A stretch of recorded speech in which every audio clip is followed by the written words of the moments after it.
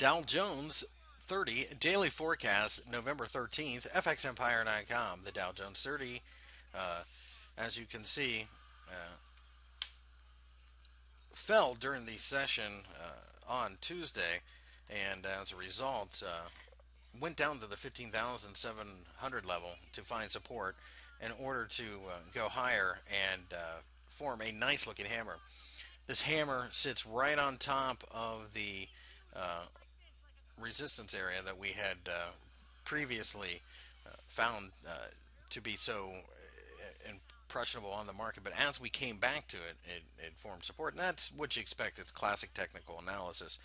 With the Federal Reserve seemingly painted into a corner as far as tapering is concerned, it appears that we uh, think that this market should continue to go higher as investors look for the relatively uh, safe yields in the blue chip companies, uh, simply because there are no bond yields out there to be had, really.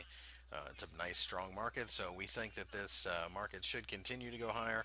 Pullbacks will offer value, and traders will continue to look uh, at the market pullbacks as potential buying opportunities to join the fray.